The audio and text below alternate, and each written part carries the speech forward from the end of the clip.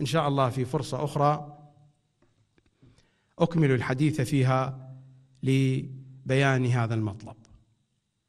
هذه الليلة ليلة الحسين صلوات الله وسلامه عليه.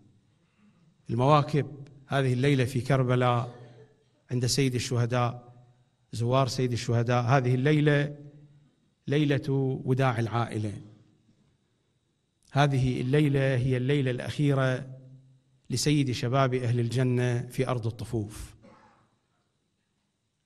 اليوم هو يوم التاسع وأقبلت القوات الأموية باتجاه المخيم. وتعرفون الحادثة وأرسل العباس صلوات الله وسلامه عليه أن يمهلوهم هذه الليلة.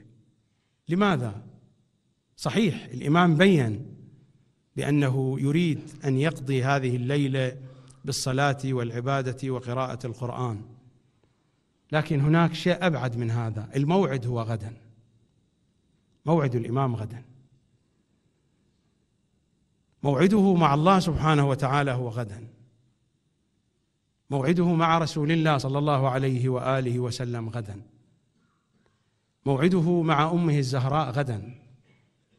وغدا تقوم قيامة أهل البيت.